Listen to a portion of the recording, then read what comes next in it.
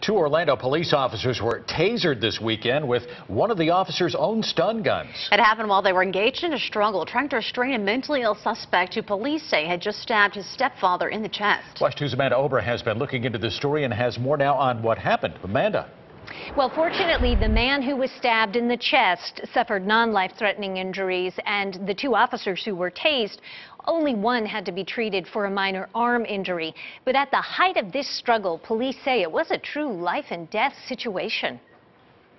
Orlando police say it appears in the hours before 22-year-old Brian Folsom stabbed his stepfather. He was poring through a book on human anatomy, possibly trying to learn the location of major arteries so he could kill when he attacked. And here you're looking at a suspect that's armed with a knife.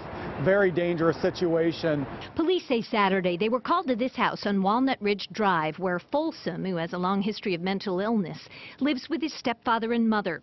The stepfather, whose name is not being released because he's a domestic violence victim, texted Folsom's biological father saying Folsom was acting strangely and he feared for his life.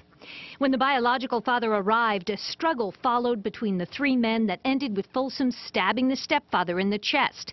When police got there, Folsom resisted the attempts of several officers to subdue him, even telling them to shoot him. At one point, he grabbed a taser from an officer's belt and managed to tase two officers before they finally got him restrained. When you're in that life and death struggle, anything can happen. Uh, you know, we carry a lot of tools on our belt that are meant to use in certain circumstances, but the officers are only using those tools in a response to the person's resistance. This person was violently resisting the officer's efforts.